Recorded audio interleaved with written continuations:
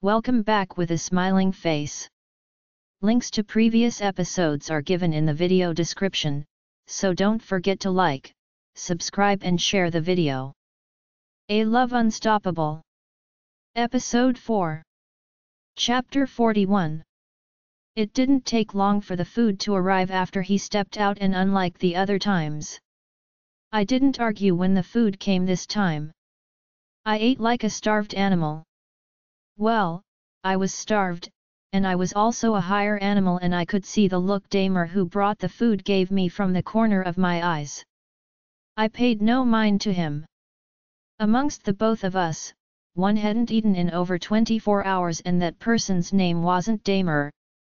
I reached for the glass of milk on the tray and I gulped it down, sighing in relief. The rice and fish tasted heavenly, but I couldn't compare them to the one Aaron made for me years ago. It was so delicious and I hadn't forgotten after so long. Perhaps it tasted better because I liked him. I burped and picked up the glass of water and gulped it down my throat. When I finished, Damer beckoned to a maid I didn't know was on standby. And she took the empty tray away. With the strength I got from the food I ate, I informed the man still in the room with me that I wanted to have my bath and he led me out of the healing room and led me back to the one I first woke up in. I showered and changed into the clothes, waiting for me as I stepped out of the bathroom. They were my size, and I felt good in them. As soon as I was done putting them on, the door opened and in came Ceci, holding Zion up in her arms. Mommy, he called out happily, his arms spread out in delight. It thrilled my heart to know he had gotten over the picture of me that scared him off the last time. I would never do that to him again. I promise. My heart felt whole and nothing in the world could compare to the joy I felt at this moment. Ceci set him down on the floor, and my baby ran toward me. I got on my knees with my arms opened wide and he ran into it, his small arms wrapping around what they could while mine engulfed him. I didn't mean to get emotional, but that's what I ended up doing. Tears ran down my face and I was unwilling to let go for the next few minutes that passed. Luckily enough, Zion didn't complain.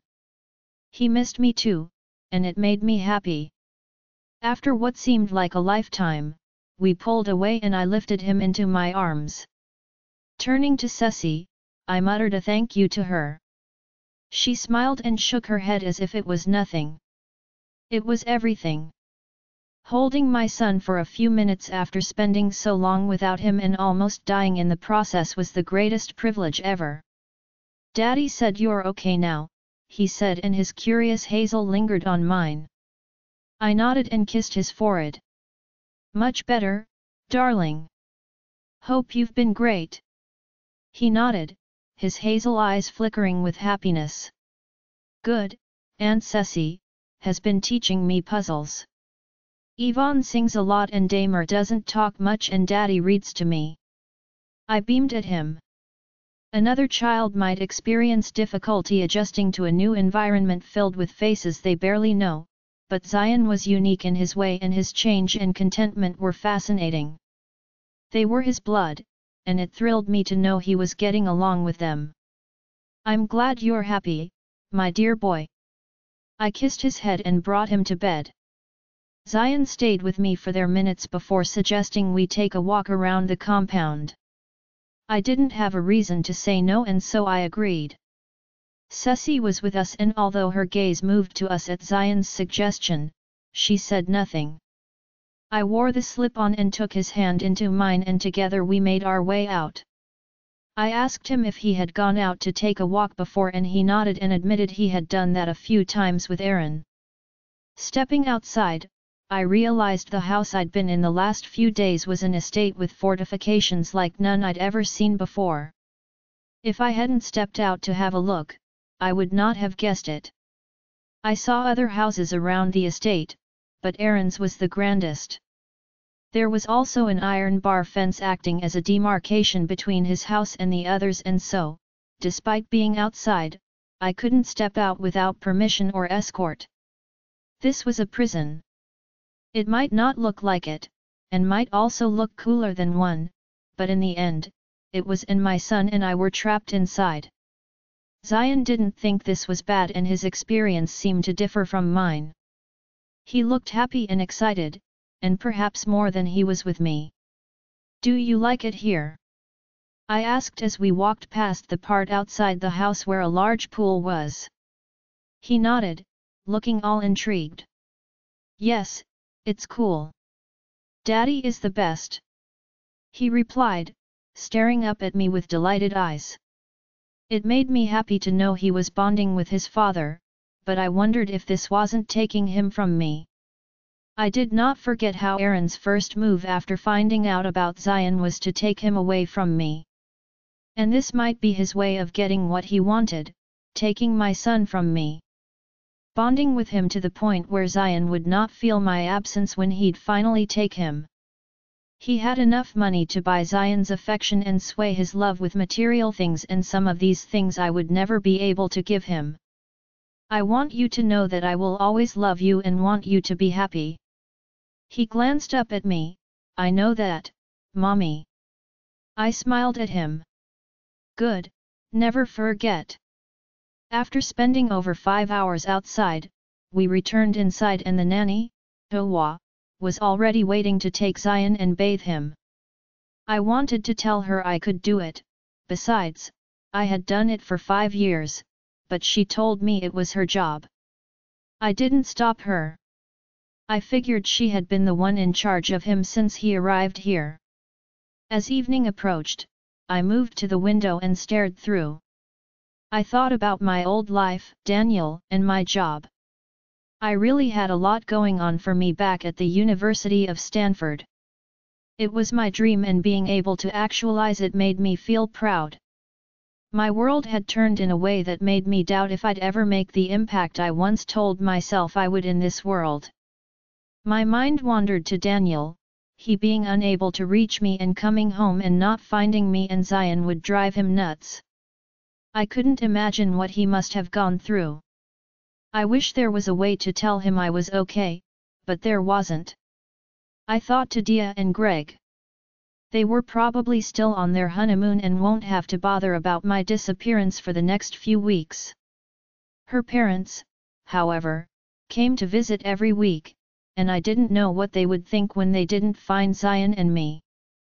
The same thing went for Lionel. He would probably worry himself sick with a thought about where we could have taken ourselves to. I needed to go home, or at least reach out to everyone and let them know I was safe. Chapter 42 I couldn't sleep. I was awake until midnight, restless and thinking. Dinner came just as Aaron promised and it was delicious. I ate in my room and a few hours later, I retired to bed, but didn't sleep. Countless and never leaving thoughts clouded my mind, and it was none other than leaving and finding safety and sanity away from all of this.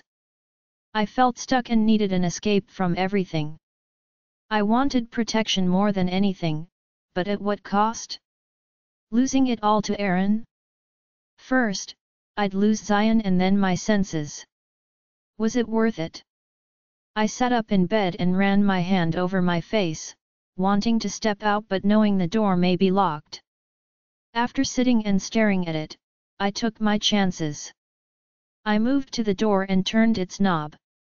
It opened, to my surprise, and wasting no time, I stepped out.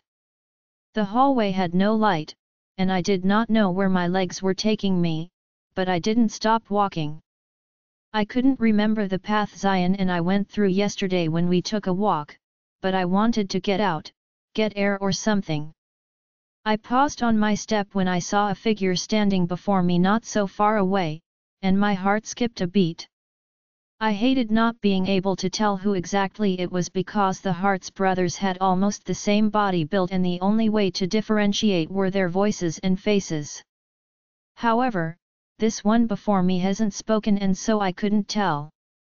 I was still deep in my thought when I saw his eyes glow a shade of red in the dark and my heart clenched in my chest, but I told myself it had to be Aaron. So far, he's been the only one whose eyes glowed red. The figure approached and his movement didn't look like that of Aaron. I would know. I had kept my eyes of hate on him since I came here, and I'd watched him move a few times. Whoever it was, his movement felt less dominating. Yet it terrified me to not know who it was. Despite this, I didn't move back or try to run away. I stood with my feet glued to the floor, though my heart skipped in fear. He transformed into a big black wolf with scary eyes, terrifying in his stand.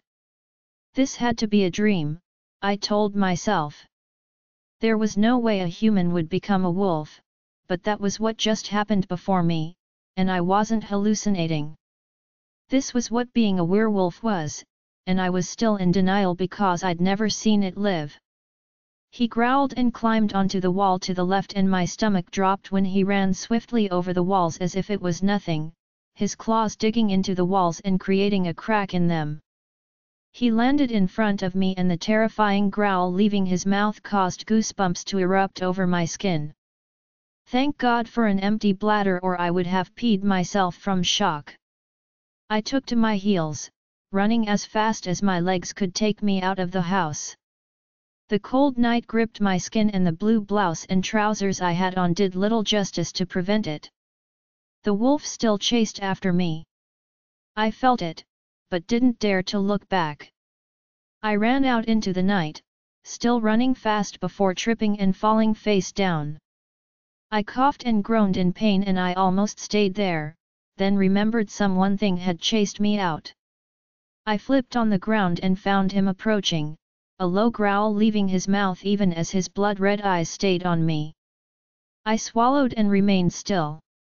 Perhaps this was it, this was my end and nothing I would do would save me from it. I should have stayed inside. It was much safer there. I swallowed and waited for the worse. Enough, Damer. Aaron ordered from behind, and I turned to find another figure behind me with glowing red eyes. Damer shifted back to his human form, naked, and Aaron tossed the clothes in his hands to him. You know what? You are no fun, brother. Damer replied and the next moment his glowing red eyes disappeared, she's human. She needs to know what we are about. You can't hide her away from it forever he wore the trousers and pulled the shirt over his head while I tried to not look at him. She's under my protection, and that means you do not get to scare her or lay a hand on her. He grunted under his breath, clearly not liking the terms Aaron had just set before him. Again, no fun. With the pace you're going, I see why you won't live as long as our ancestors did he pointed out before turning to face me and he must have smiled because I saw his perfect teeth on full display. I am sorry to have scared you, Zara he offered me his hand, but I didn't take it, instead I pulled myself up on my own and dusted off my dirty trouser. I stared at him in silence and I felt his gaze move to Aaron, who still stood behind me. Is she suddenly dumb or something? She's not dumb but after the scare you just gave her, I wouldn't want to talk to you either, Aaron spoke in my defense and Damer scoffed. The energy you carry is flat. I'll go find me, Ceci. We have a pack to lead tonight, he said and walked past me, whistling melodiously. I am sorry about that, Aaron spoke up once Damer departed. I didn't want his nice self coming into play.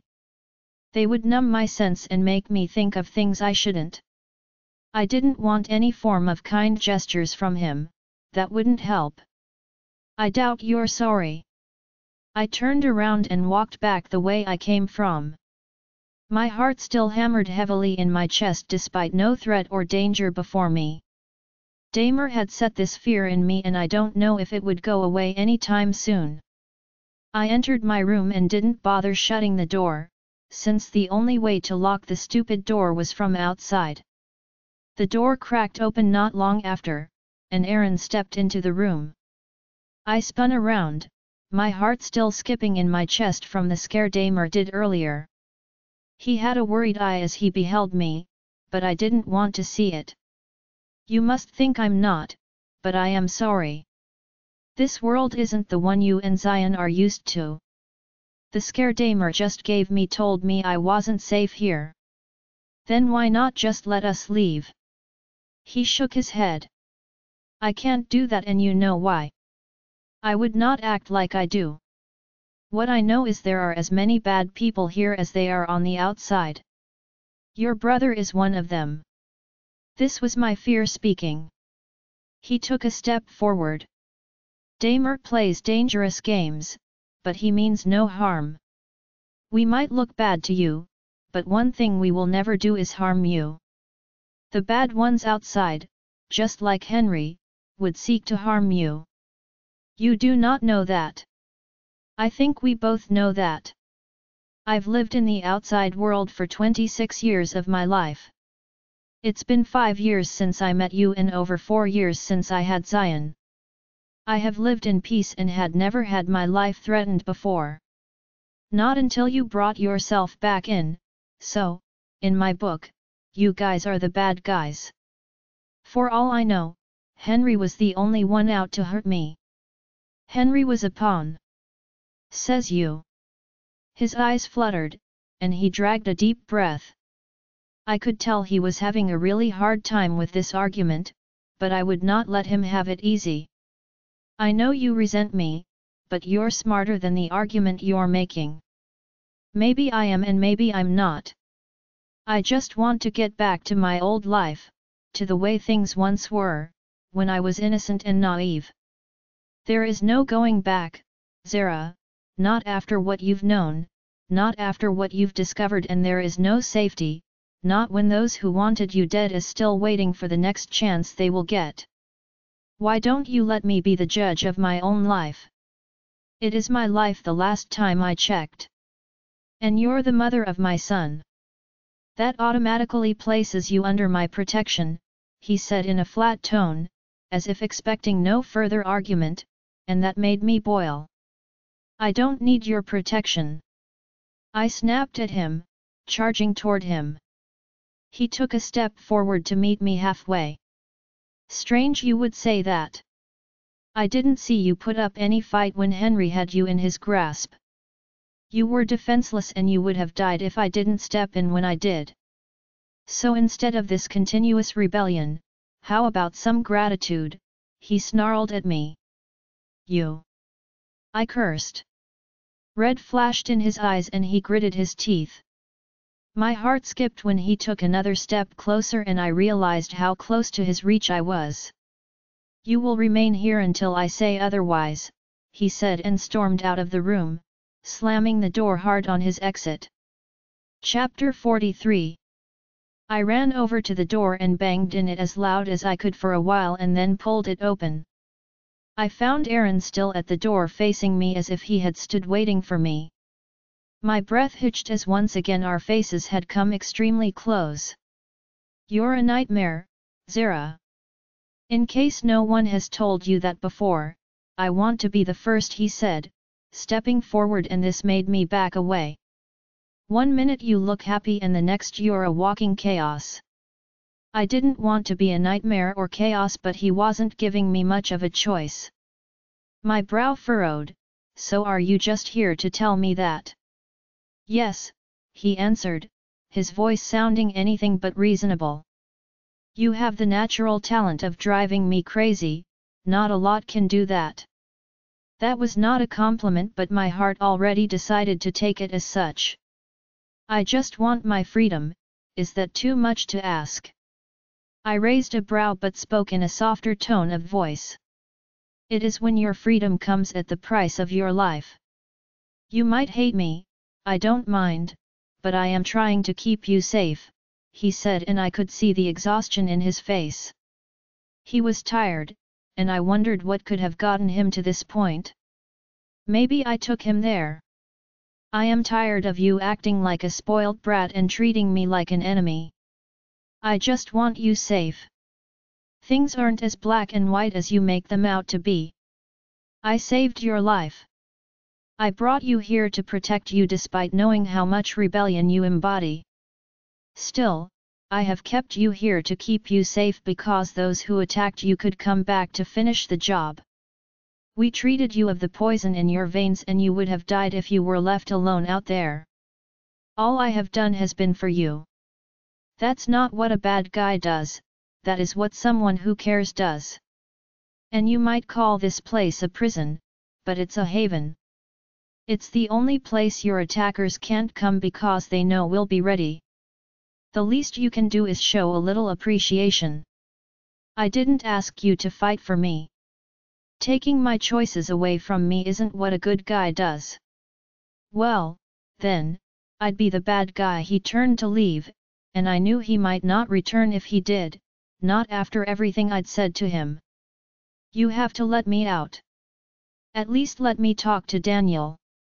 He probably is worried sick about me and confused as to where I am.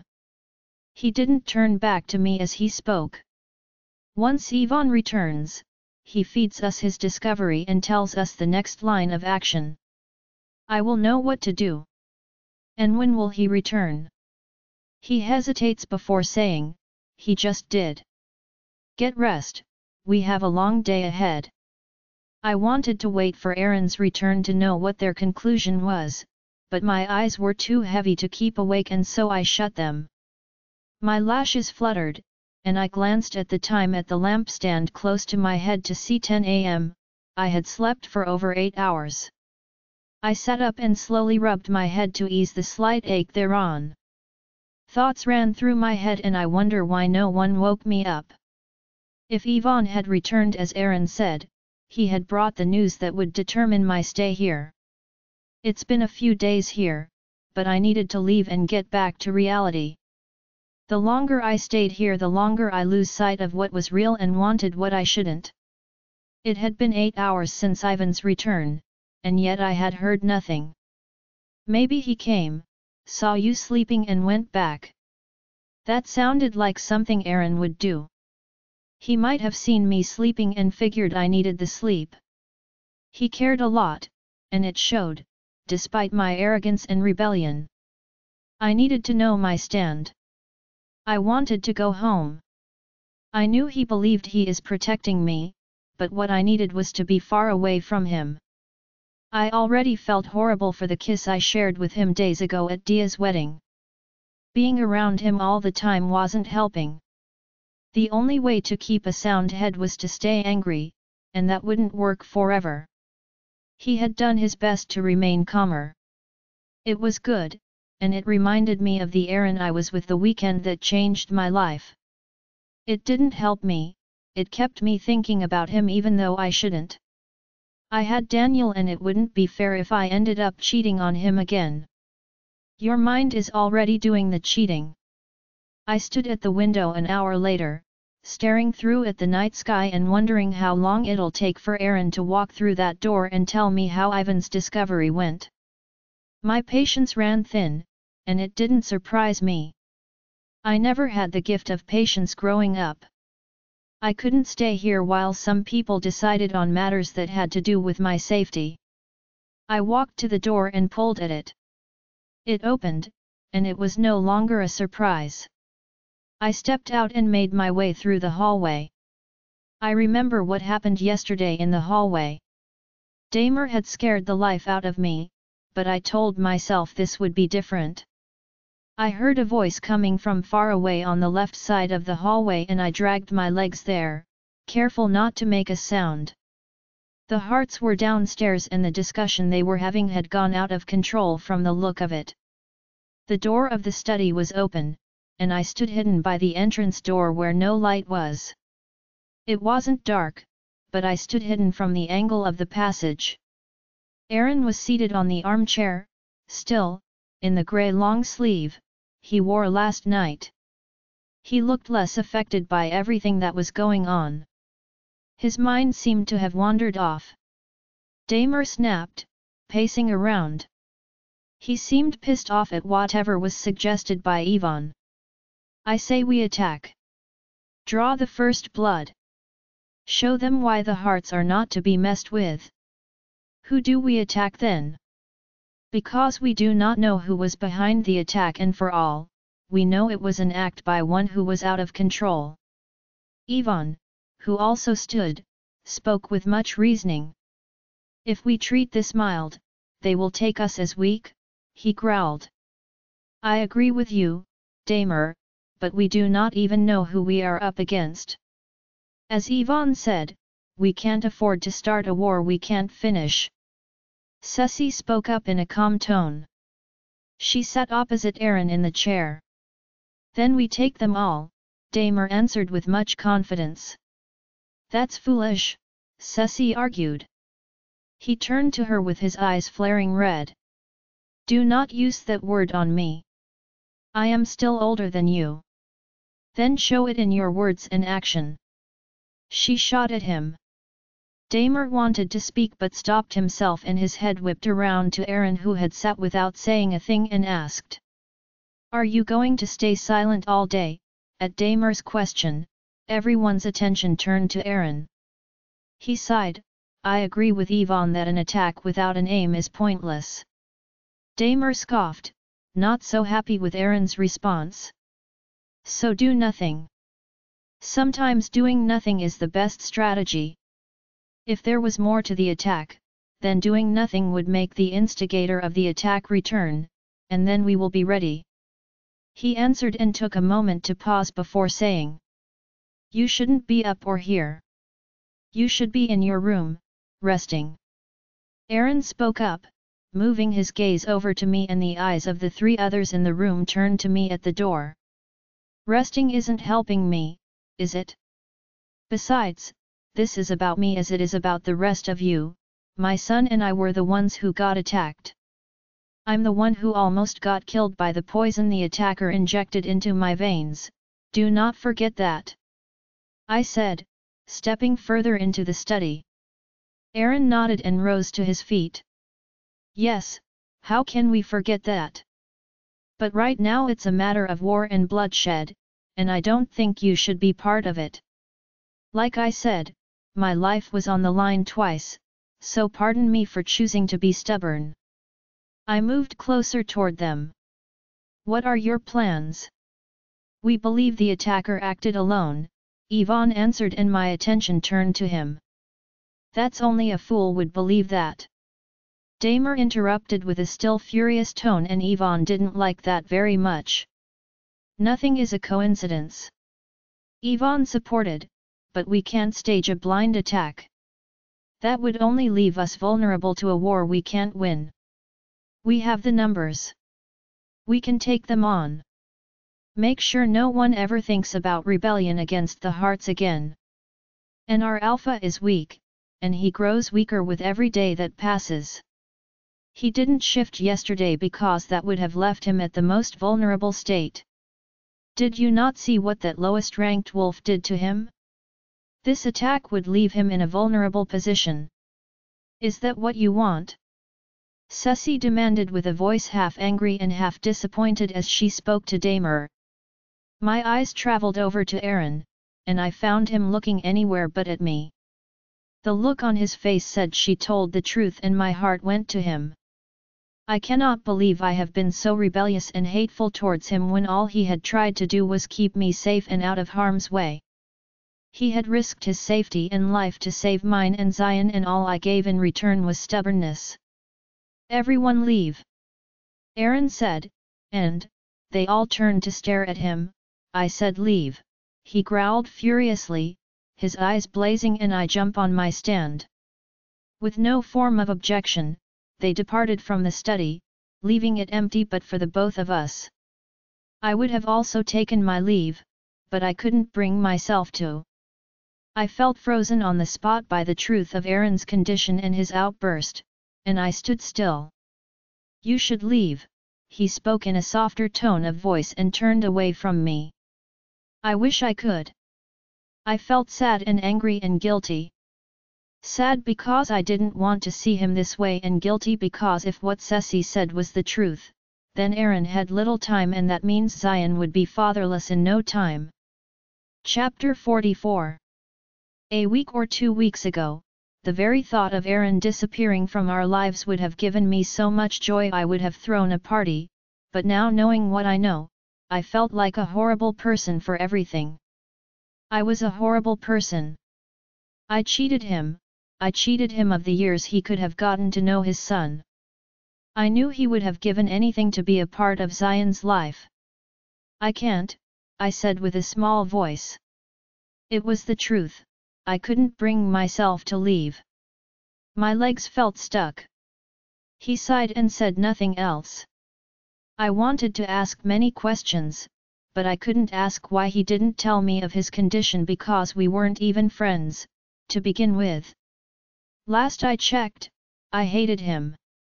The only thing that joined us was our son, and that wasn't enough reason to open himself up to me. Besides, there was nothing I would or could have done to help. I want to be alone he said, please leave. Do you remember her? You better sit down before you see her today Buzz Day Melania finally admits what disorder Barron suffers from Buzz Day I can't, I said again, and I wanted to move at this point, but I didn't find the strength to do that.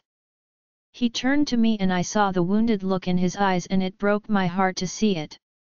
Aaron. He shook his head, don't he said before storming out. My heart shrunk in my chest and my eyes grew glassy. This hurts much more than I thought, much more than I expected. I knew it wasn't my place and it would just get me into more trouble with him, but I wanted to be there for him. It felt right within me and leaving him alone, like he requested, didn't feel like something I could do. I followed him outside. The day was less bright as compared to yesterday and the sky looked cloudy as if it would rain soon. I found him seated on the balcony with his face towards the open field to the left. The chilly breeze blew through his long hair and swayed it around on his face. The same breeze gripped my skin, causing goosebumps to erupt all over, and I wrapped my hands around my exposed arms. He had sensed my presence because he spoke. You shouldn't be out here, Zara, it's not healthy for you. I know, I answered, my lips trembling a little. And yet here you are. It was the way it was. My heart was heavy, and I knew I wouldn't rest today or in the days to come if I didn't step up and did what needed to be done, said what needed to be said. I am sorry. He turned his head to the side but didn't turn fully to look at me. Why? Are you saying that because you mean it or because you don't want to be the villain who wronged a dying man? Both. But I am sorry because I didn't get it before. I do now and I have had a moment of self-reflection and I know what a horrible person I have been to you. I have also been a selfish mother to Zion and considered my feeling and insecurities above what was best for him. I denied him the years he could have had with a father who would have wanted him, years he would have been loved and cherished. Now he may not get the love he deserves because of me and I am sorry. I was mad when you wanted to take him away, but now I understand why. You're the better parent and I wronged you so badly and I need to say I'm sorry a tear ran down my face. He turned around and finally looked at me. That must have been a hard thing to say out loud. I nodded, it had to be said and I need you to know that I understand now. I understand why you do the things you do. I turned to make my way back to the room, but his words halted my step. You never reached out all those five years. Why? he asked. I didn't want to talk about that, but that was the origin of the lone path I took later in life and was the reason behind every decision I made. Because I had my heart broken by your conversation which I overheard. You were on the phone talking about the need to find the woman made for you the one your soul longed for and I realized that wasn't me. I laughed and shook my head at my grand stupidity, you see I had somehow fallen for you in the short weekend we spent together and I was going to say yes to the offer you made about us being more. That conversation, however, broke my heart. It made me question everything and once again I was the fool in love with the guy who was nothing but a liar. You fell in love with me, he asked as if he couldn't believe what he just heard. We were placing all the cards on the table and there was no need to lie or pretend. I turned to him and found him already standing with his intent gaze on me. I pressed my lips together and nodded. I loved you. And to an extent, I felt you were the one. I felt the connection I had never felt for anyone else. Not even Owens. That was why I was going to say yes to your offer. It was a risk I wanted to take before the conversation ruined it.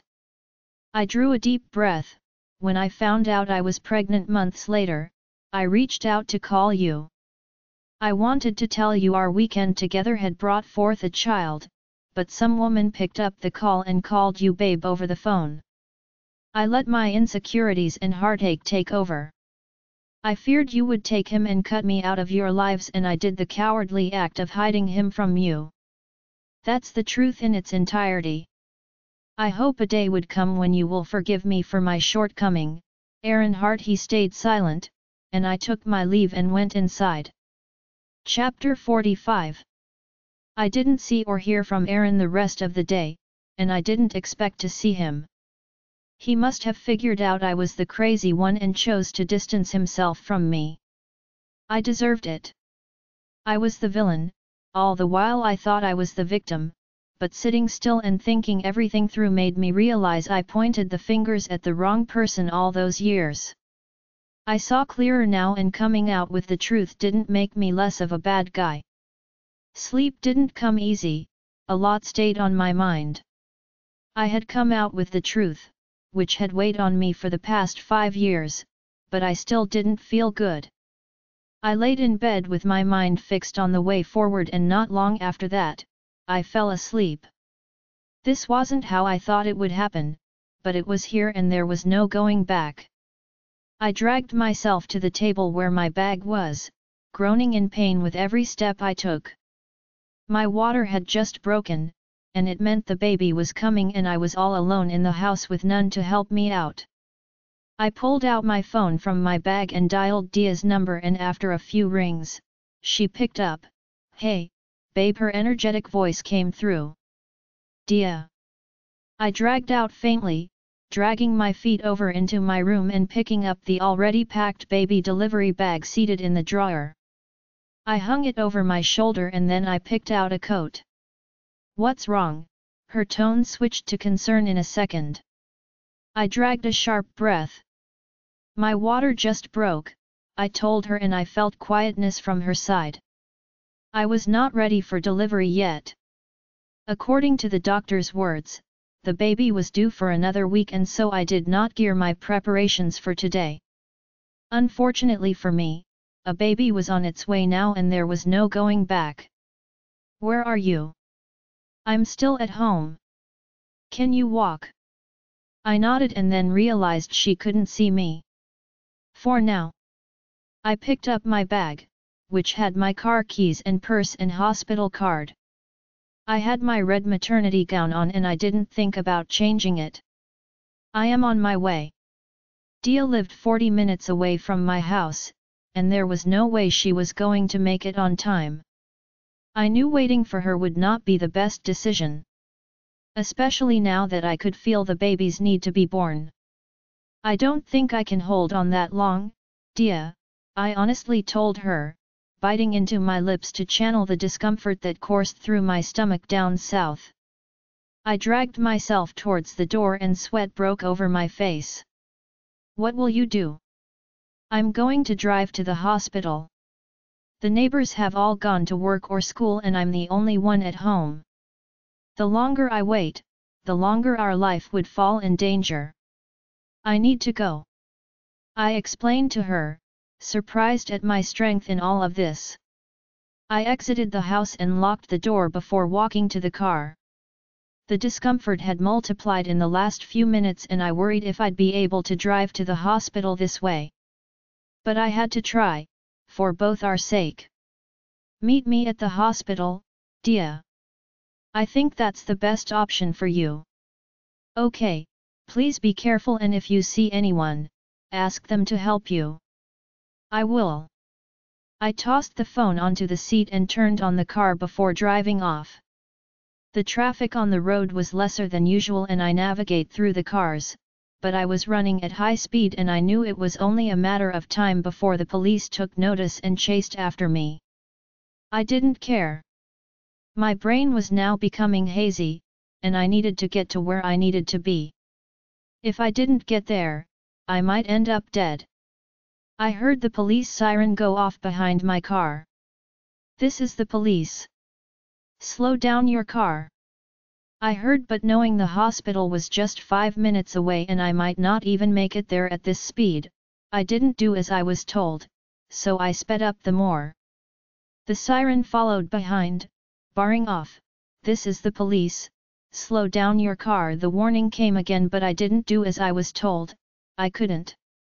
I took the turn that led to the hospital and drove my way to the parking lot, not even bothering to park my car where it was necessary.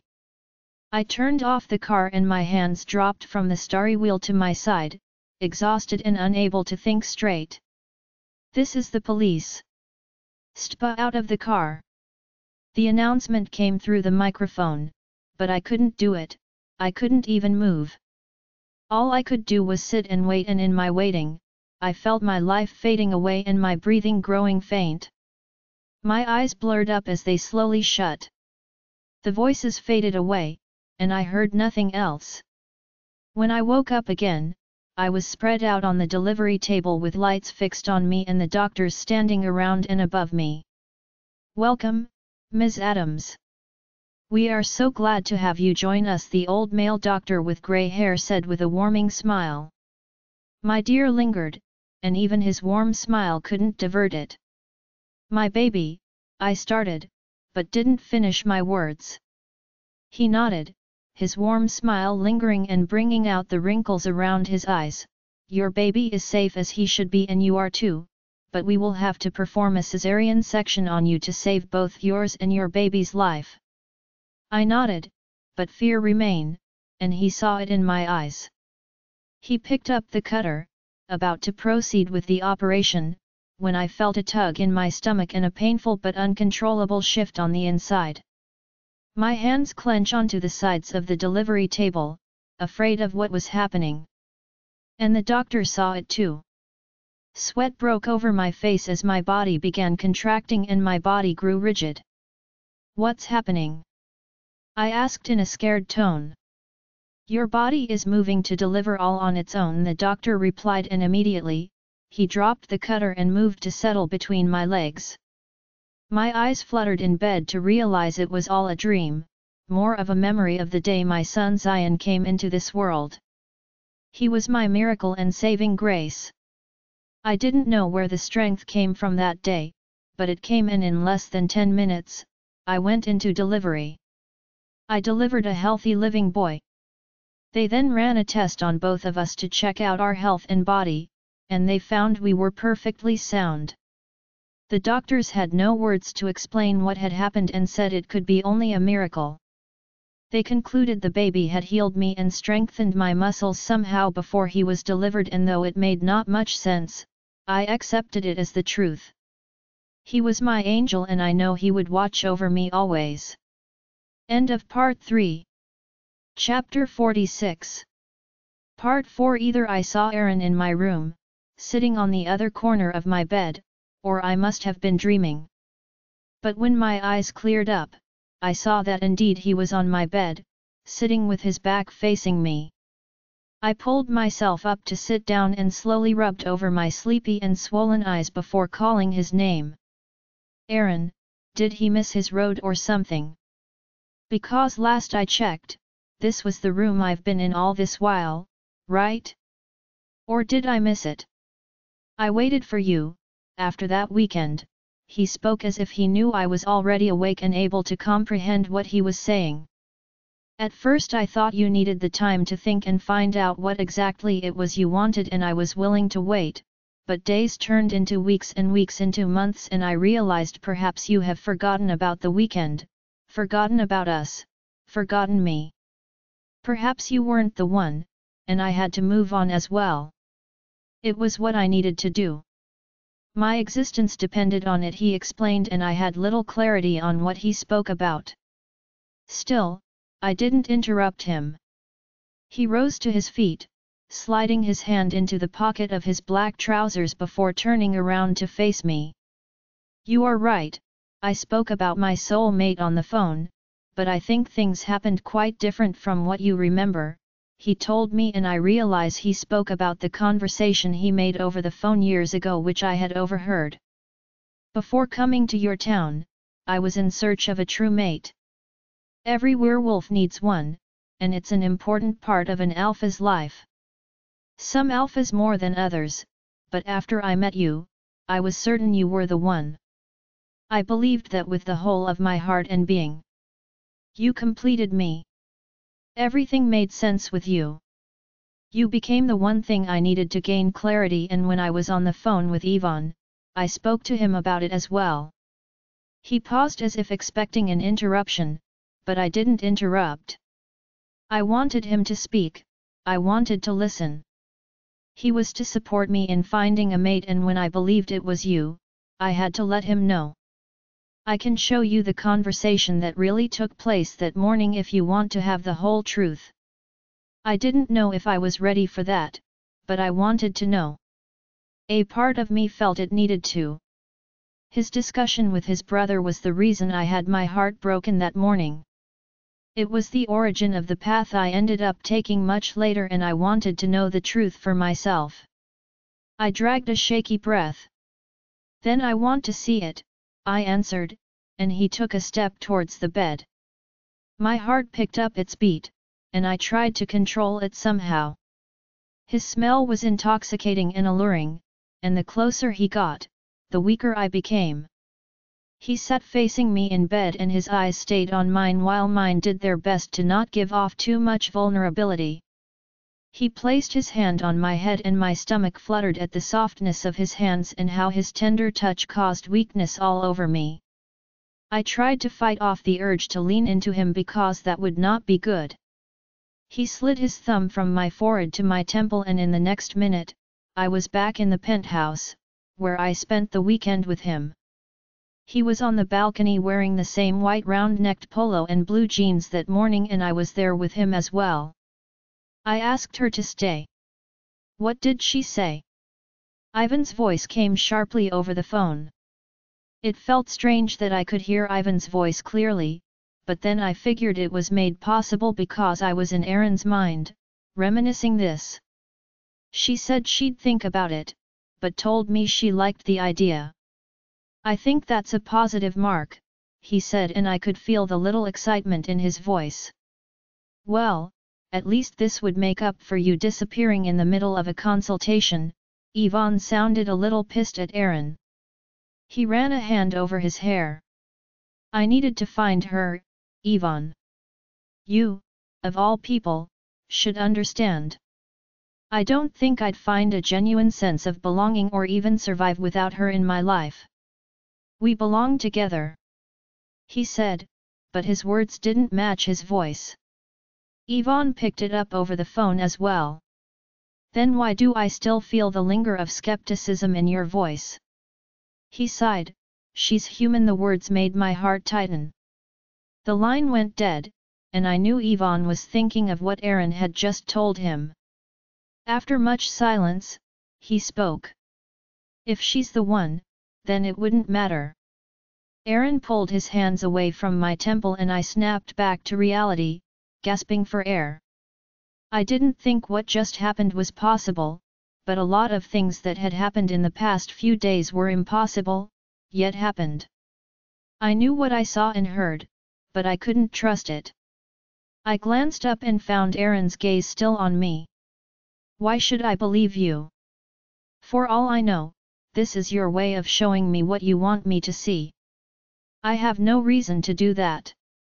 What you just saw is my memory, and it hasn't been tampered with. You might not believe it, but I know deep down you know it's the truth. If this was the truth, then what I thought I heard wasn't the truth. I also had my heart broken for nothing.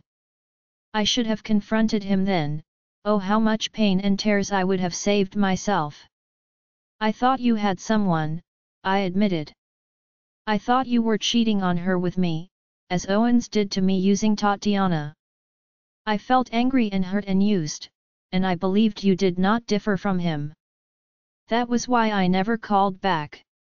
I should have asked for an explanation, but I didn't think it was in my place to do so. We were just two people that met during the weekend to have fun and nothing more. I wasn't your girlfriend and so I kept my anger to myself and moved on instead. I never lied to you, Zara, and I never will. I nodded. I know that now and I wish I had known that before, things would have been so much different. I know that now, I told him and when his hand moved down to stroke my face, I leaned into him to get more. I felt a calm I had not felt in a long while and I wanted to get used to it. It was the peace the truth brought, and it felt better than I thought it would. This felt real. Staying this way, being with him this way, felt more real than everything I've experienced in the last few years. My heart was back beating for him like it had five years ago and there was no stopping it.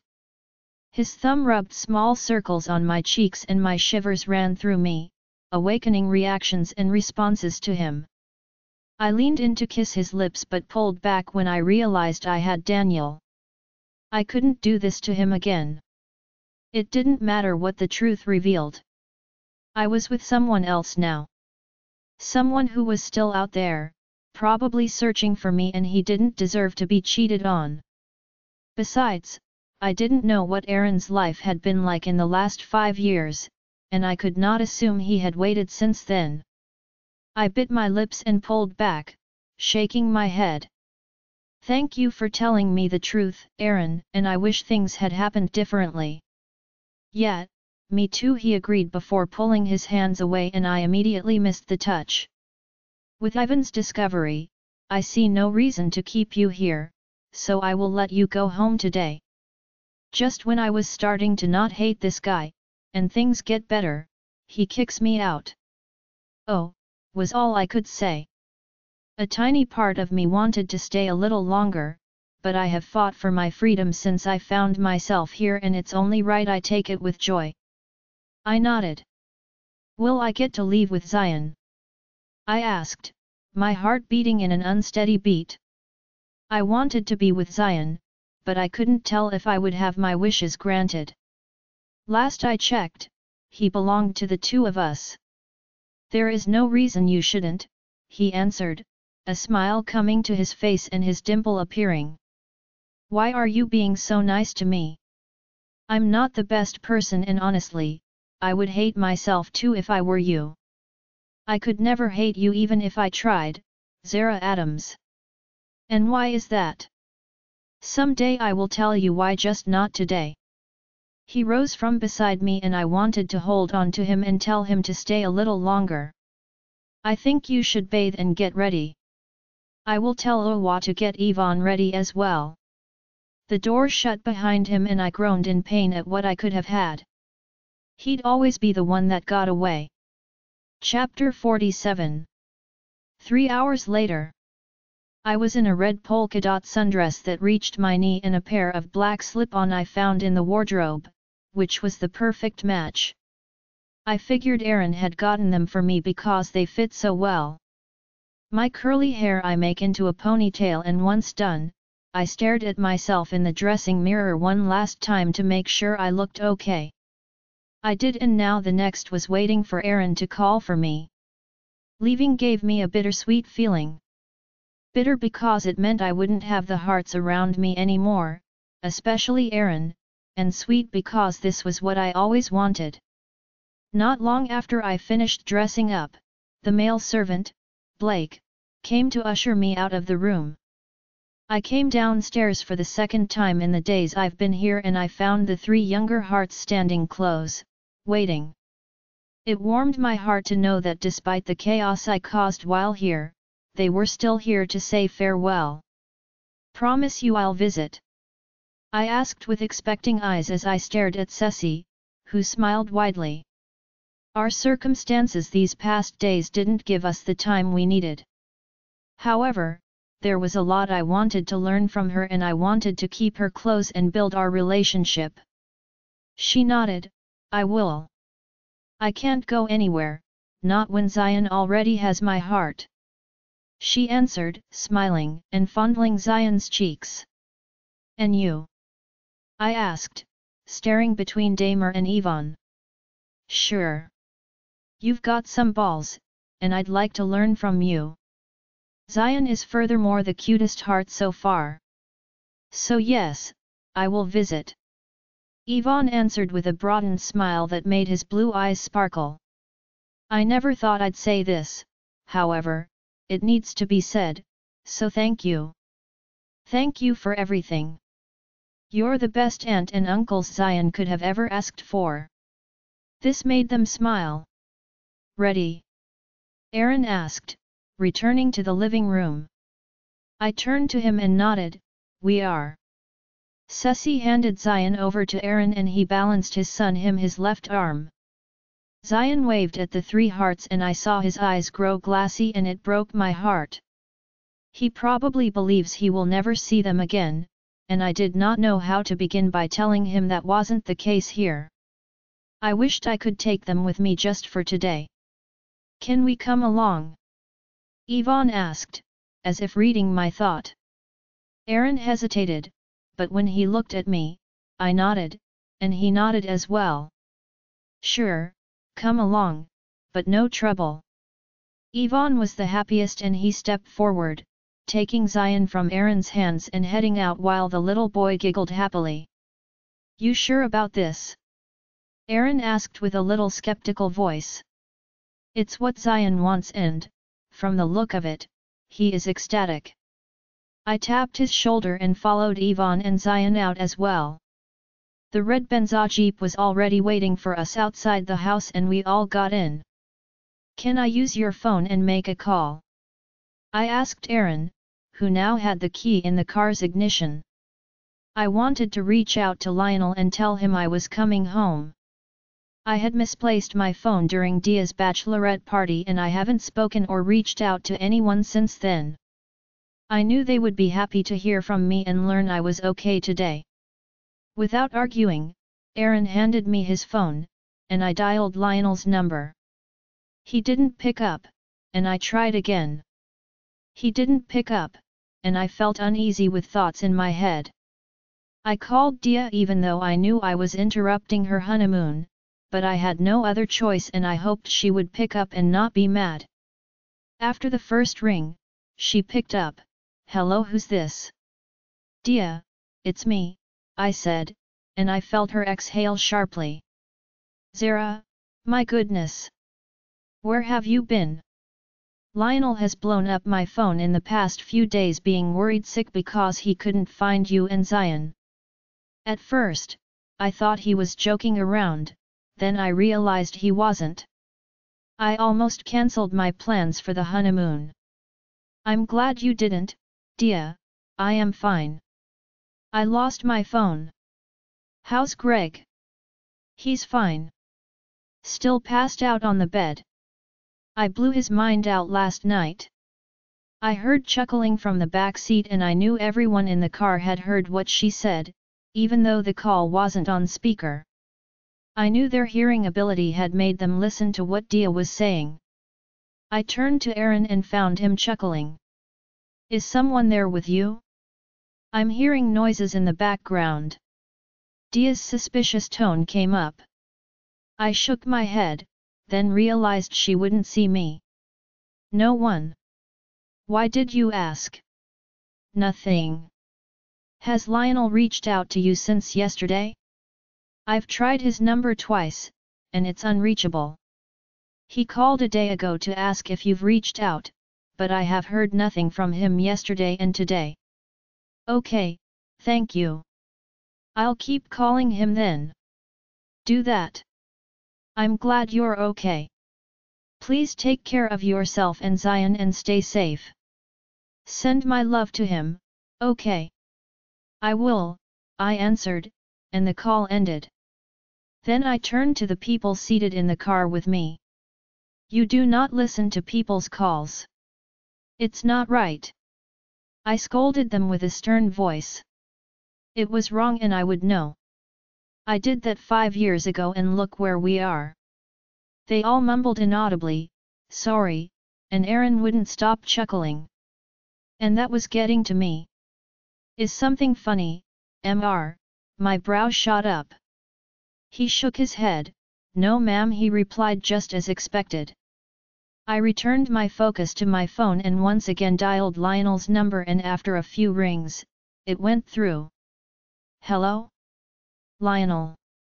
I called out, immediately relieved to have gotten an answer, oh, thank goodness you are this is Shamsi came the unknown feminine and fragile voice of the stranger now in possession of Lionel's phone. Shamsi. I repeated because the name didn't ring a bell in my memory. Lionel's girlfriend, she added, to clear my curiosity. Oh, he's gotten a girlfriend within a few days. My brother is fast. I'd give him that. He said it and he did it. Good for him. Who are you? she demanded, snapping me out of my silly mind. I'm Zara Adams, his sister. Where is he, and do not tell me you also blew his brains out. Oh, her voice dropped in its tempo, Lionel is in the hospital. He was involved in a crash on his way over to my place last night.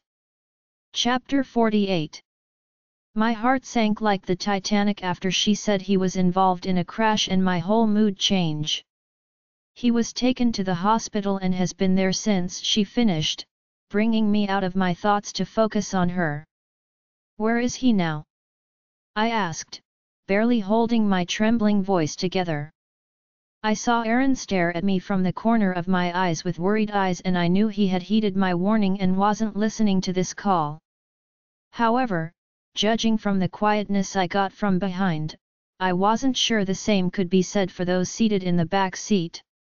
St. Louis General Hospital, she replied and my brain did a mental location of the hospital and realize it addressed was at Beverly Hills. I nodded. I'm on my way. I ended the call and turned to look at Aaron. Where?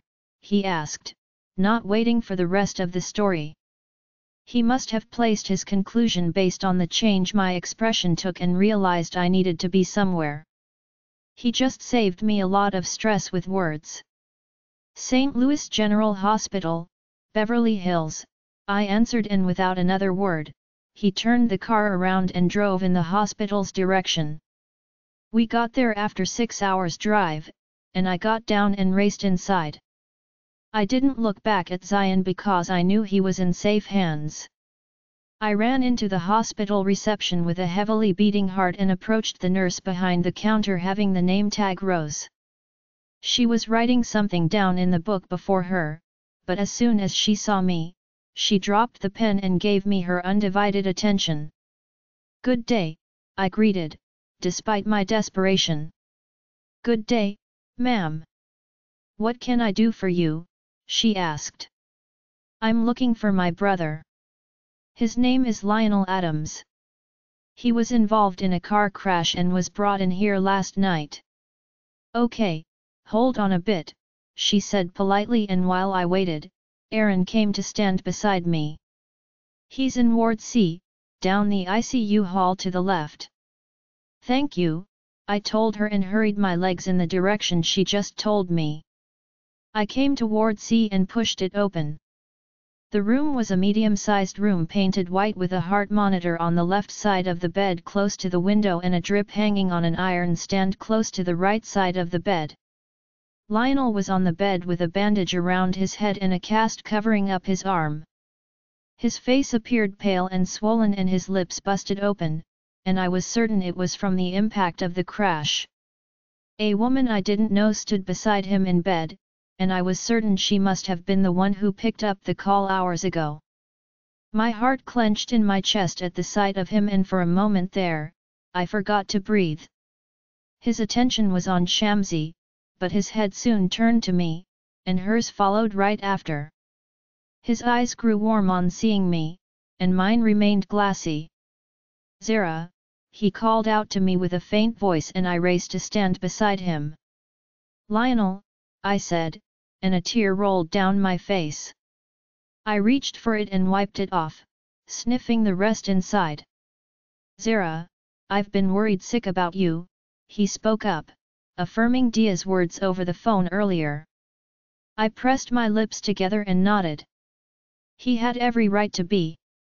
A week without being able to reach their loved ones would give anyone a scare. I'm sorry, I lost my phone at Dia's bachelorette party. I didn't get to recover before the attack and rescue happened and here we are, many days later. What happened to you? What sort of crash was it? His lips paused as if he was in deep thought, it came out of nowhere, sis. I was on the right because the light was green for me and so I was going and this car just came out of nowhere, slamming into mine and sending both of us somersaulting off the road he said and I felt the fear in his voice. The police said there was no one in the other car. No blood stain, no forced exit from the car and no trail. Shamsi added, but did not sound convinced about it as well. That can't be true. I saw someone, a guy in a black shirt and red hair. I was not in any drug, neither am I making it up, he said, his eyes staring into mine, hoping I believe him. My hand tightened around his. I believe you. We will get to the bottom of this, I promise. The police thought Lionel could have been under the influence, but the test they ran showed that he wasn't. He's in sound mind, but they can't prove his theory without evidence. That's what I came in to tell him before you came in. She explained and then turned to pat Lionel's head tenderly. I thought I was going to die. Perhaps my time is near he trailed off and I took his hand into mine. Listen to me, Lionel, you will not die, not now, not soon. We need you here with us. Zion needs you, I need you and you still have a long way to go with us he nodded slowly, and I kissed the back of his hand. Zion is okay, isn't he? He is. He's outside, I answered, not including those who he was with. I would reveal everything to him in its time. I will get a phone before going home and I will send you the number, so you will have it, I said and then lifted my head so my attention fixed on Shamsi, who had gone quiet. Thank you. She shrugged. It's what I would have done for anyone. Luckily, he isn't anyone, which makes it even better. She said and smiled down at him. I stepped out of the ward and I tried to wrap my head around everything that Lionel told me. I believe him, but the police report and his words did not tally. I knew one of them had to be lying and I knew Lionel would not lie about this. With Lionel's history of substance abuse, it would take the police a longer time to get to the truth, despite him being clean now. It wasn't fair to him, but that was what we had to deal with. Ivan's discovery concluded that Henry acted alone in his attack, even though snapping the way he did without a cause made no sense. It made no sense that a car without a driver crash into Lionel's and left him in a terrible state, but here we were. I didn't want to make wrongful conclusions, but I was beginning to think the same people behind my attack were behind this. Of course, I couldn't tell him that, that would only make him worry more and, besides, I could be wrong. Whatever the reason was behind these attacks, I knew they wanted to eliminate the Adams and I wanted to know why. Get out of my way. I heard the voice I knew and hated yell not so far from me. Turning around, I found Betty standing there with a look of disdain on her face.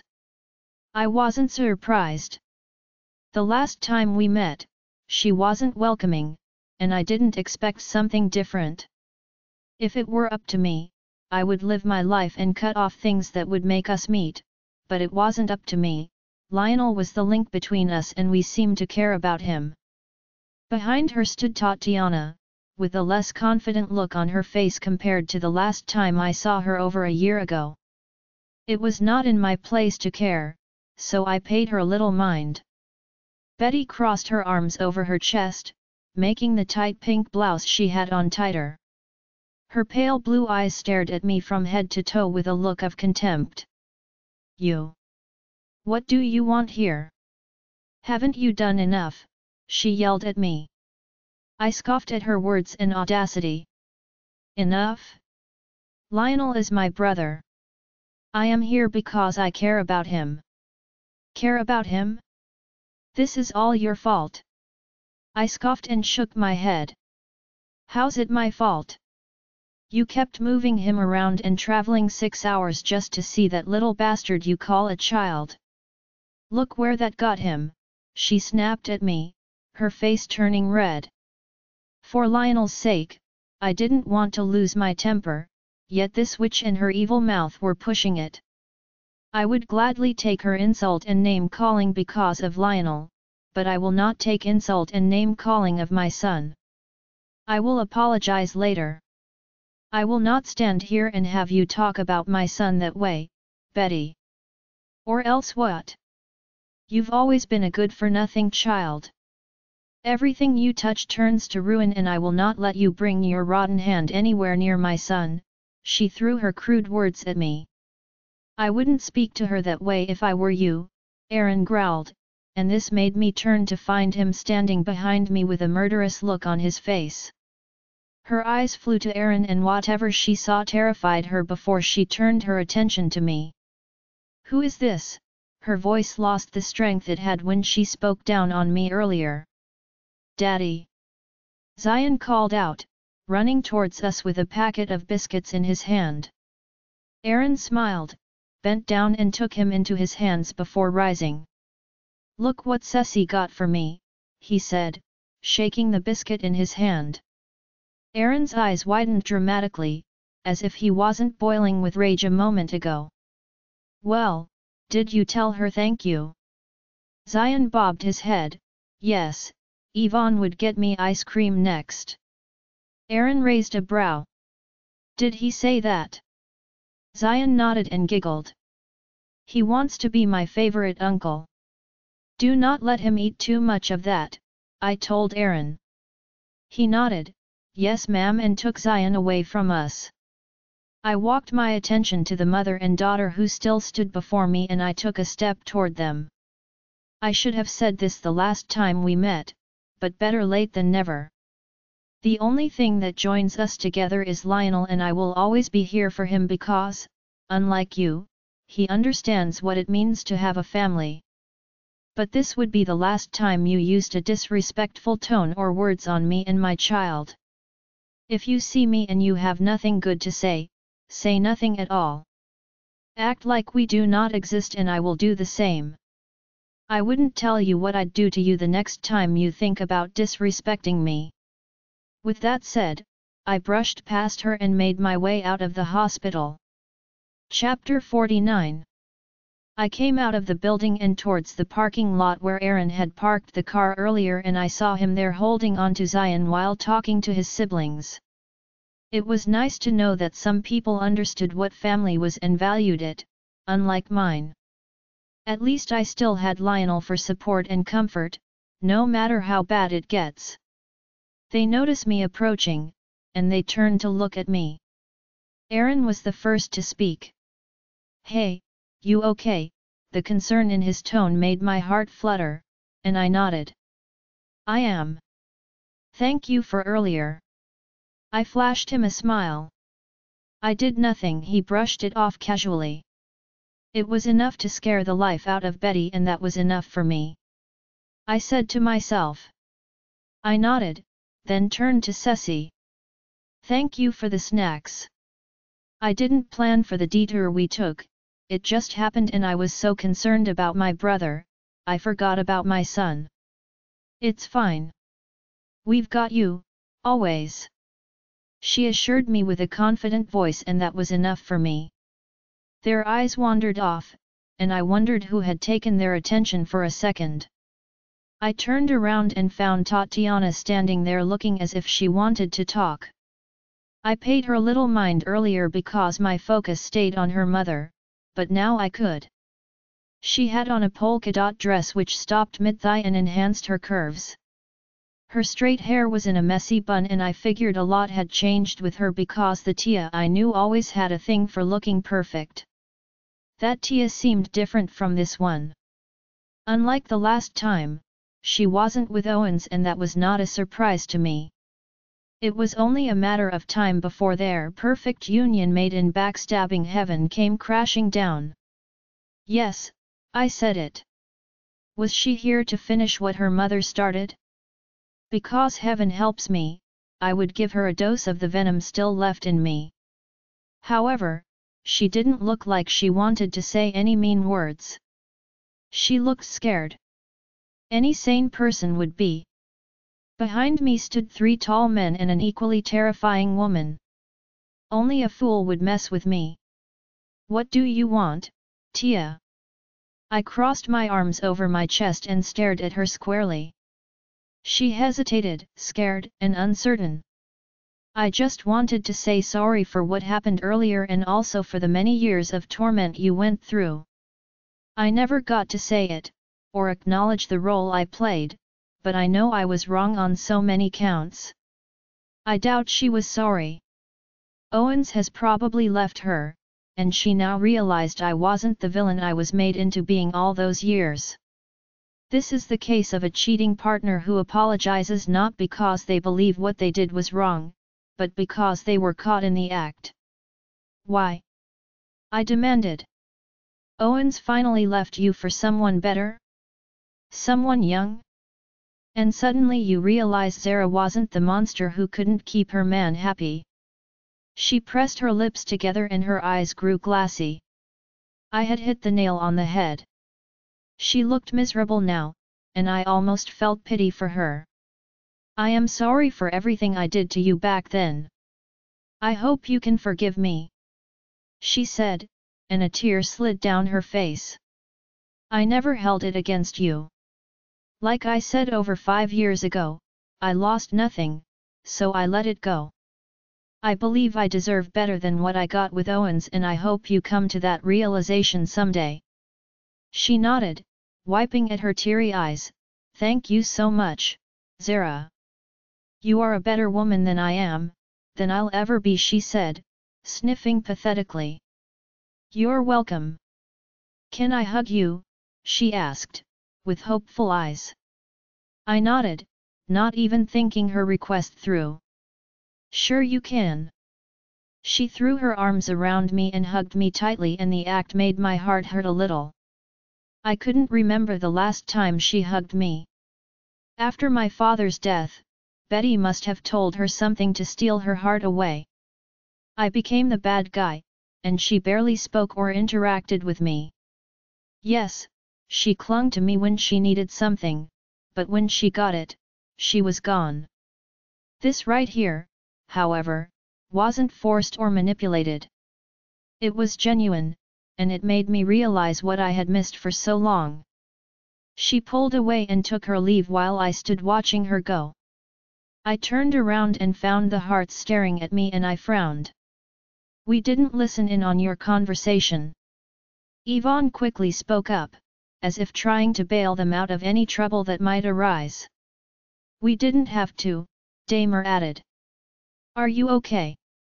Aaron asked. Yes, I am. I lied.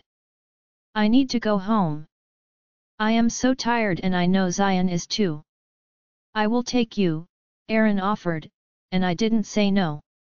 The day had turned the way we didn't anticipate and so the younger Hart siblings chose to go home. They were six hours from the park estate and since Aaron would not be returning, they needed to be back there and keep things moving. I understood and thanked them for their help throughout the day. Aaron, Zion, and I departed and drove the rest four hours that led to my home. It was done in silence and that silence must have gotten to Zion because he fell asleep in the back seat where I had him strapped in.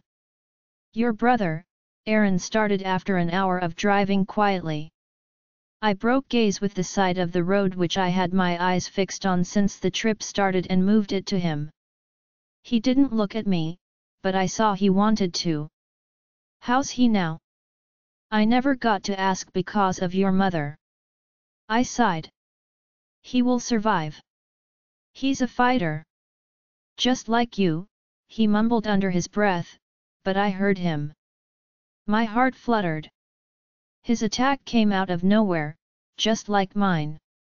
I told him, the police said there was no one in the other car, but he could swear there was. He saw him, but his history with substance abuse would drag the investigation on. You think this was an attack?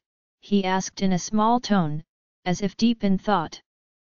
I know it is. His attack makes me believe Henry didn't act alone. This is all connected somehow and the Adams are the target. I might be wrong, but my gut says otherwise. He became silent, and that was the last thing I needed, but as I opened my mouth to speak, he did. I think you're right. I also think this has something to do with me. But I cannot tell who's behind it. His words triggered my next question. Don't you have any enemies? I raised a brow. I have many enemies he corrected. And that is why I fight to keep you and Zion safe for as long as I can. A part of me wanted to go back to the estate where I'd been these past few days. There was guaranteed safety there compared to the outside world, but my loved ones were in the outside world and they were vulnerable. Will we ever be safe? He reached out and took my hand on my lap into his. The touch sent a spark through me, and I didn't want him to let go. He squeezed down on it before glancing at me. I swear to you that you will, even if it's the last thing I'll do. Chapter 50 We arrived home and Aaron carried the still sleeping Zion into his arms and rested his small head on his shoulder and we both approached the house. The little boy must have felt the change because he woke up and his dull eyes lingered on me. Mommy. Yes, my love. Are we home yet?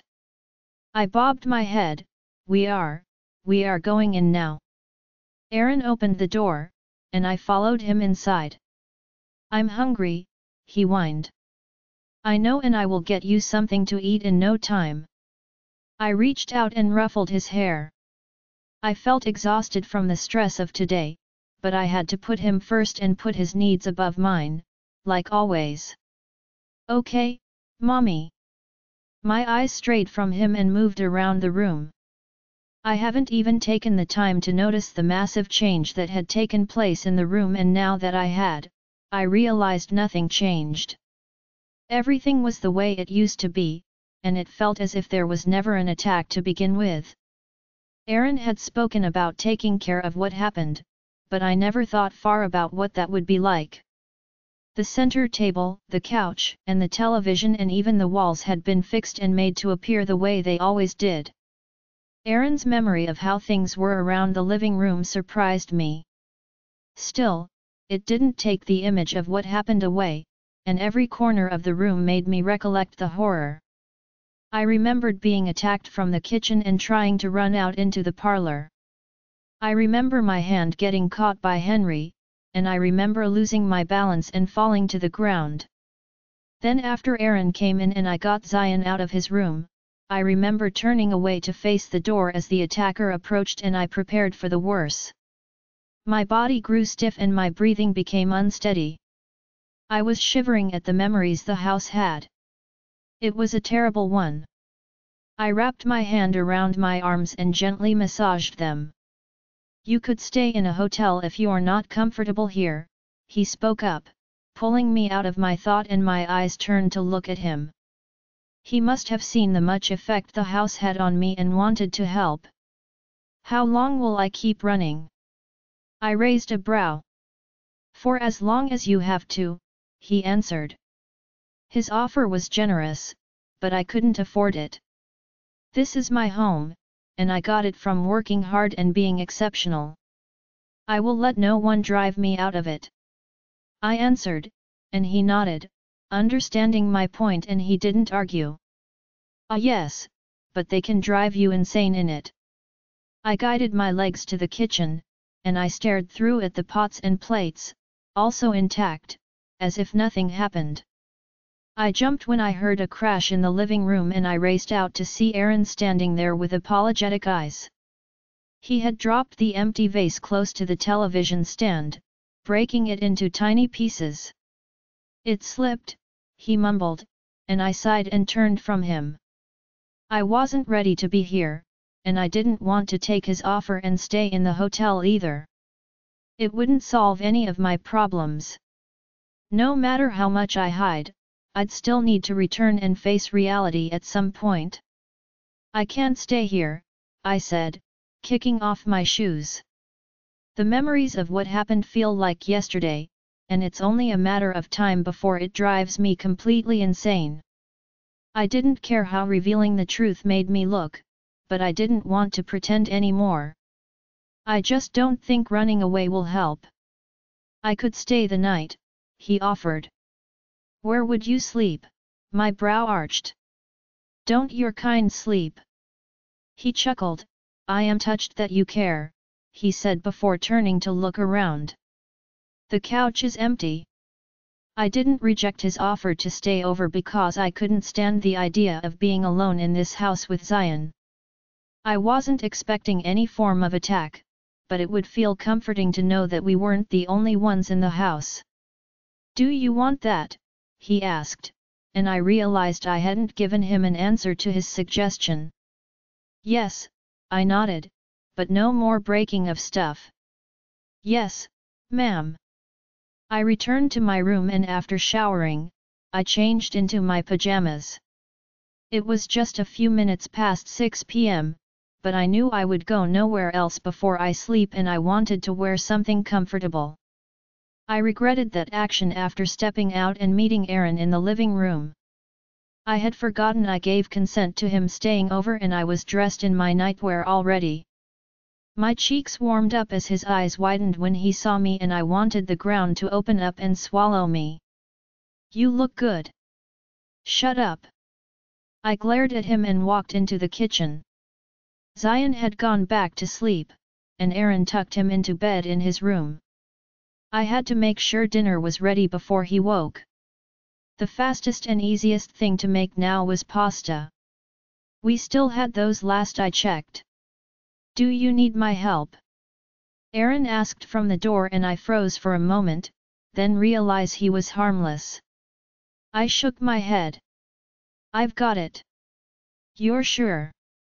Yes, you could just stand at the door like that.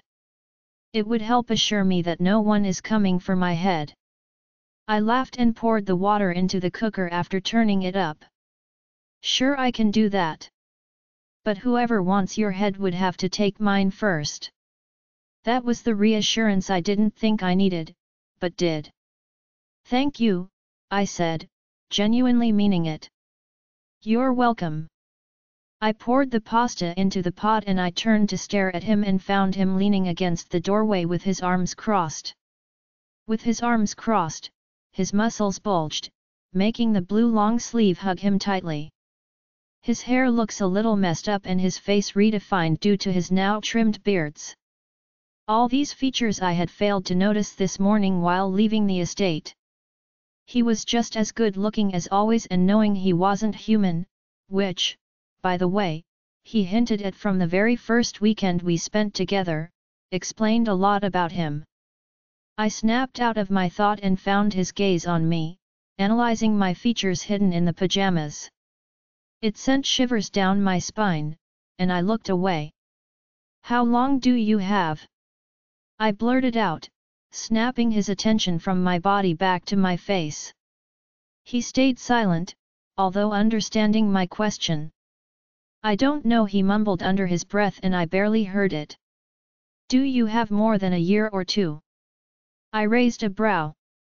He chuckled, and his voice held so much life. I'd be lucky if I get a year, Zara. My heart went out to him. I'm sorry. He shook his head and stepped toward me. It's not your fault, and I hope you believe that. I wanted to ask more questions but the cooker timer went off and I jumped and turned around to face what I was cooking. I felt his gaze on my every move while I cooked and, though affected by it, I remained silent. Zion woke up before I finished cooking, and when he came downstairs, Aaron attended to him.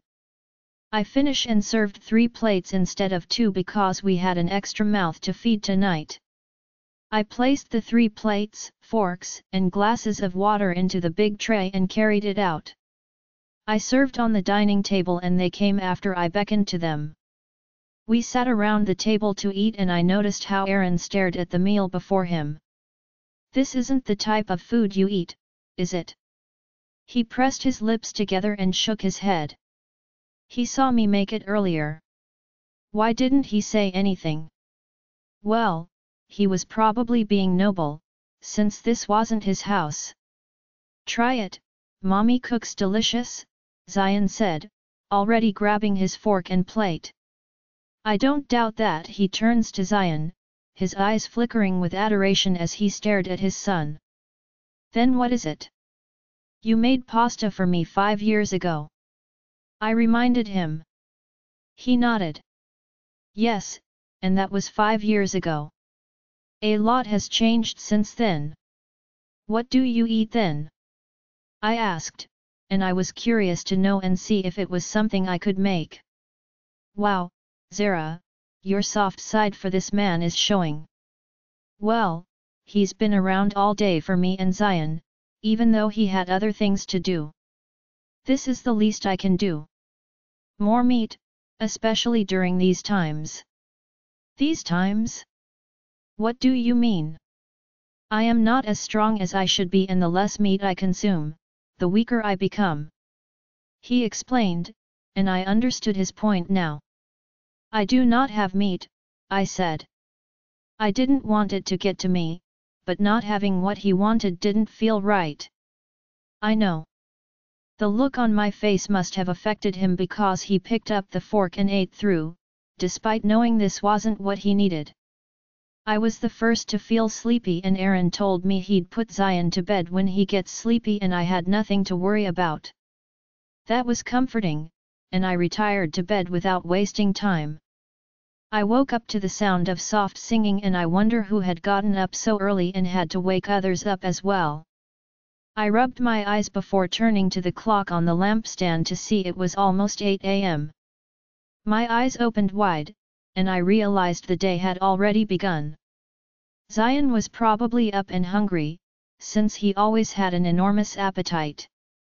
I didn't even care to know how I looked before dashing through the door and toward Zion's room. I opened the door but saw no one in bed. He had already woken up and left his room. I hurried into the living room, yet I saw no one there. The music, however, was louder here than it was in the room. The living room also had the aroma of eggs and butter, and whatever was happening in the kitchen had to be delicious because my mouth was already watering. The singing continued and this time I could hear the wordings. I could watch you for a lifetime. You're my favorite movie A thousand endings you mean everything to me. I walked into the kitchen and there they stood, facing the cooker. Zion was in his blue pajamas sitting on the counter and bobbing his head to the song his father was singing while having his focus on the pan before him. Aaron had only his white singlet and black trousers on, singing and stirring the pot before him. He was still in his blue long sleeve from yesterday because I didn't have any male clothes to give him and it looked a little ruffled up now. Forever fascinating I hope you don't stop running I stood at the door, not ready to disturb or interrupt the picture before me.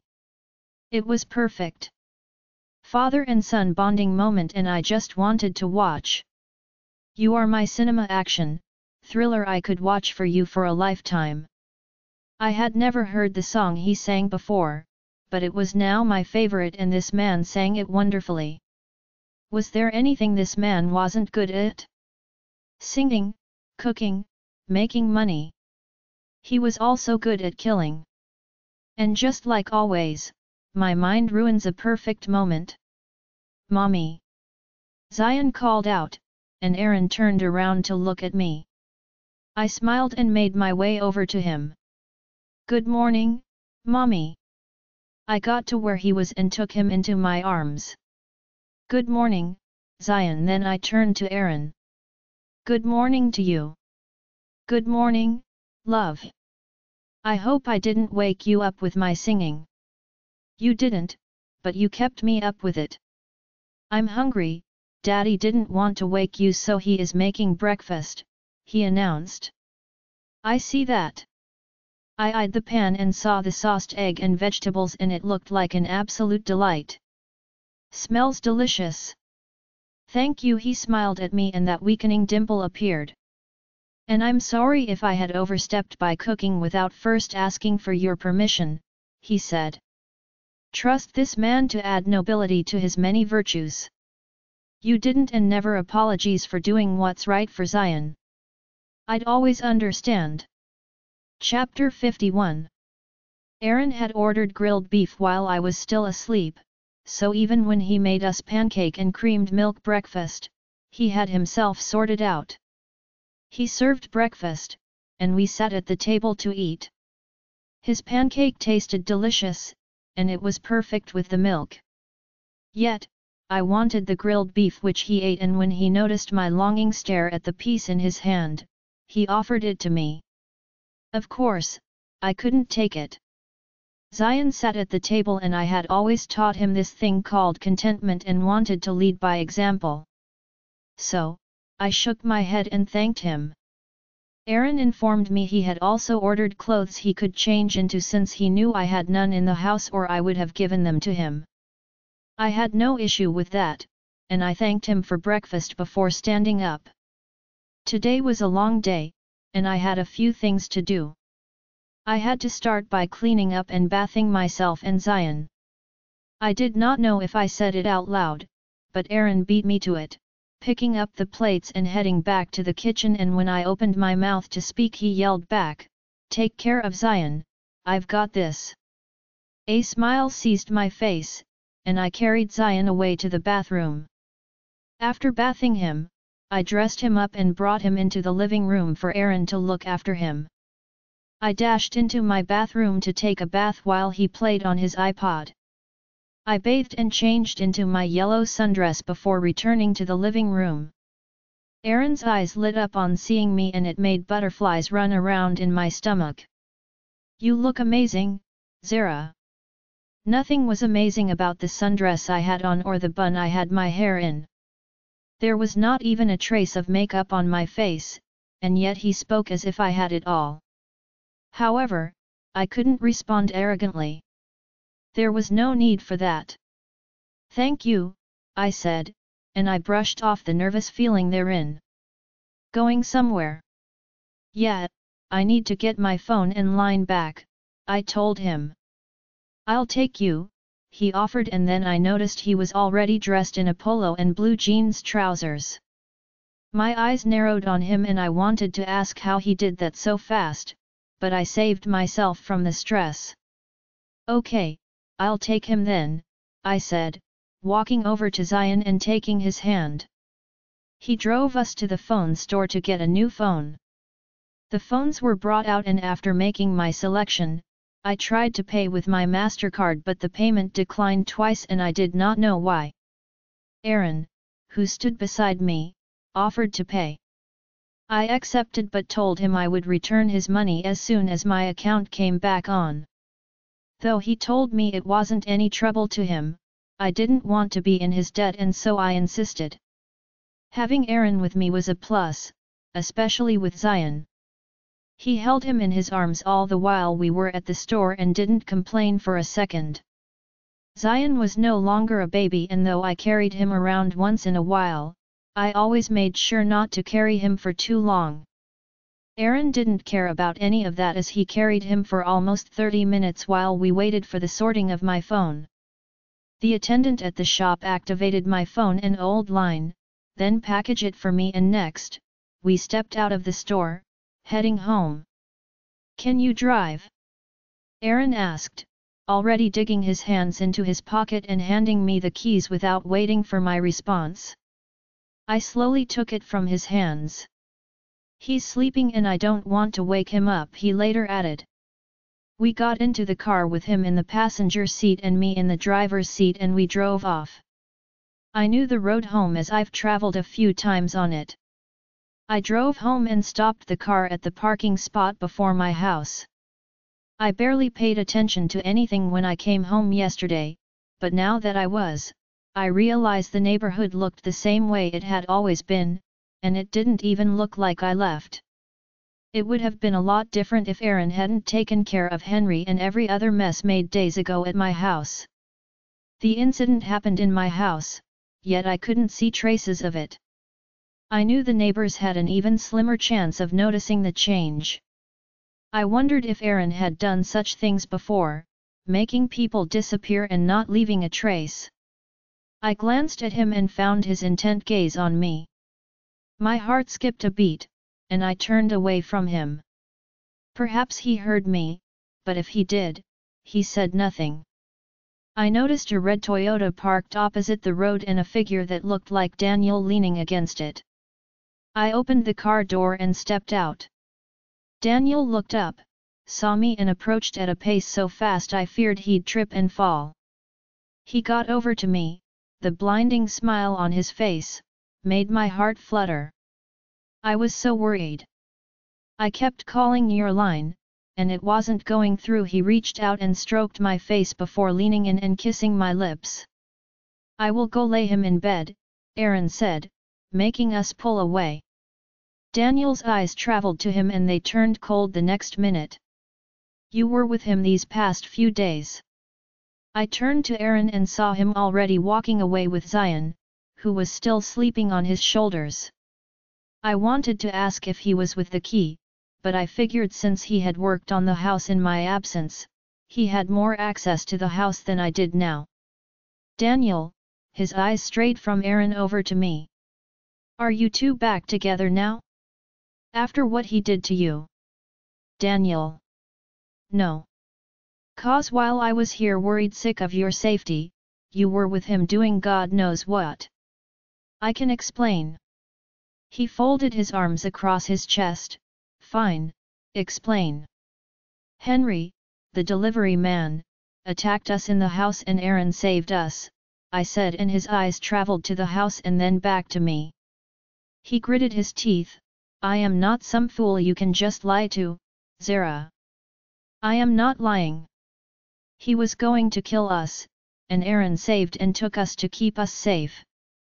I will never lie to you.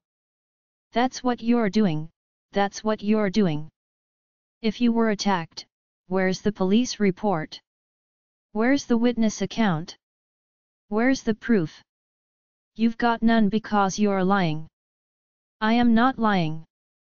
I have proof. I turned my scarred wrist to him to have a look at it. Henry dug his claw into my wrist while I was trying to escape. Look at the scar. He glanced down at my wrist, but his face only grew redder. There is nothing there. My face paled up, and I glanced down. Can't you see? Right here. Stop doing this to me, Zara. Yes, I love you. A lot, but don't treat me like a fool he growled lowly. I turned to the door where Aaron had just gone through, wondering what was happening to me. I am not. I am telling you the truth. Believe me. The neighborhood was a quiet one and scenes like these would quickly attract attention from neighbors. I wanted him to come inside so we could talk, but Aaron had taken Zion there and I doubt Daniel wanted to be under the same roof with him from the look of things. Did something happen between you two? I shook my head. I made sure nothing happened in the last few days with him. I almost spoke then realized that wasn't the truth. Not while I was with him, I answered truthfully. But it happened. Daniel, Zara, tell me the truth. I bit my lips, and my head dropped. Yes, at Dia's wedding.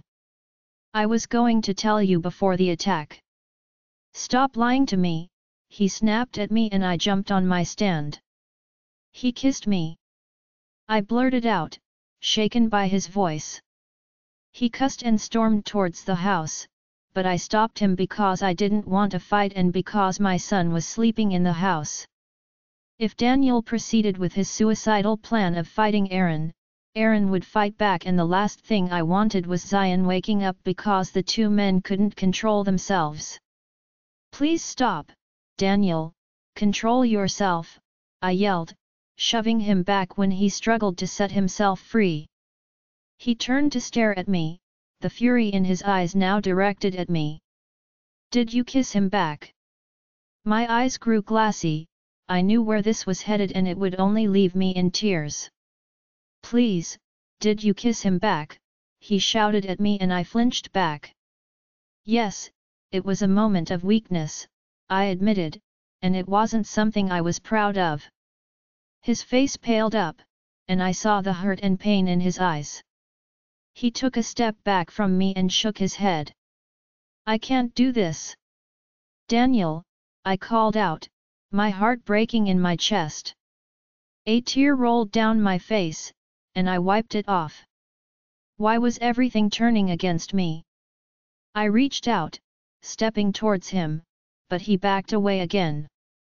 I can't do this, he repeated before turning away and I watched him go. Chapter 52 I didn't know if I had the strength to go in, but I had to. I couldn't stay out all day and wallow and so I dragged myself in. Shutting the door, I pressed my head against it with my eyes closed, reminiscing about all that had happened so far. A few good things happened, but this one seems to have ruined it all. I still wanted to believe there was a way around this. There had to be. I didn't diminish my role in all of this, nor did I think I was sinless, but I didn't prepare for the nightmare or the pain I caused Daniel. I heard a crack of the door from not so far away, but I didn't even open my eyes to see who it was.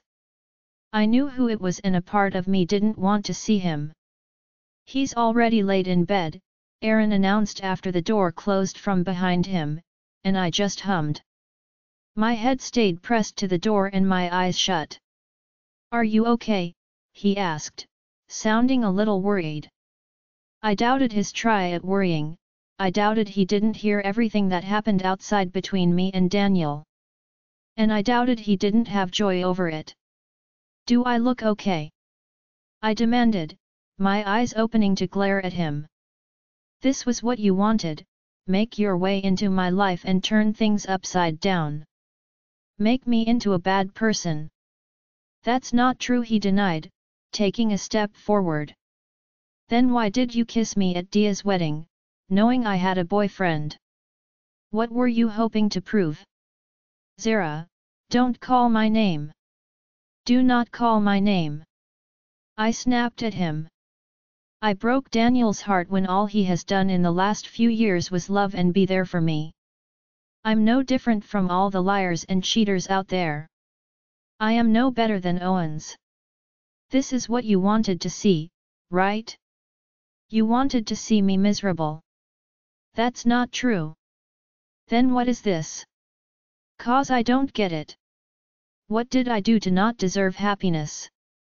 You deserve happiness and I am sorry you're going through this. Yet, you should be. I will speak to Daniel, and let him know the blame falls on me. You're not to blame for anything that happened at the wedding. I cause it and if he's mad at anyone, it should be at me. He didn't leave because you kissed me. He left because I told him I kissed back. I promised myself I would not cry anymore, and he didn't deserve to see my tears, but this was bringing them back in a streaming force. I could be mad at him all day, but the truth is I gave into it. I kissed him and a part of me liked that he kissed me, liked that he held me against himself, pressed there. A part of me felt right in his arms and that caused me weakness and now here I was with the consequences. Then I would tell him you've been with me these past few days and not once did anything happen. I'll tell him it's because you were with him and wanted to be faithful. I did what I did at Dia's wedding because I wanted you to myself, but now I realize it was selfish to want that. So, I'm sorry for causing you any form of pain. I didn't believe he was sorry, but I had to accept his apology. I had little an option. He didn't see them, I said, changing the topic from this sad one. What? he asked, taken aback by my words. The mark on my wrist. He didn't see them even when I showed them to him. He told me there was nothing there. I extended my wrist to him. He thought I was lying. Or even making it up. I had Yvonne cast a vanishing spell on the wrist. That way only you can see it. I did it to keep you away from the eyes of predators who might see your mark and wonder how or why you survived. I told you before, they are everywhere he said. Can you see the mark? He shook his head and took another step forward. Only you can, he answered. This made me curious. And no one has ever survived the venom of the mark. He shrugged his shoulder, clueless. If anyone has, they kept it a secret. Werewolves are referred to as supernatural for a reason to humans. They can be deadly. And I've lived amongst them these past few days. So what? That makes me special. I frowned because I didn't feel special. I felt. It makes you a different special, he answered, and that answer sounded better. It also means you tread between the two worlds.